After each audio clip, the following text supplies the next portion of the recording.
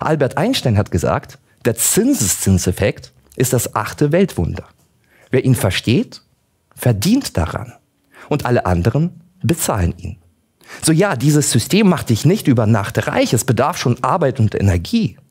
Aber wenn du dieses System für dich anwendest, dann wirst du auch automatisch vermögend werden und dein Vermögen anhäufen.